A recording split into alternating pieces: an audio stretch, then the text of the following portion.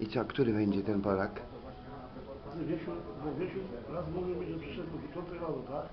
Tak, przedwczoraj. Bo był na lotnisku. Pijak nie. No, Szakoła chudrą się zrobił.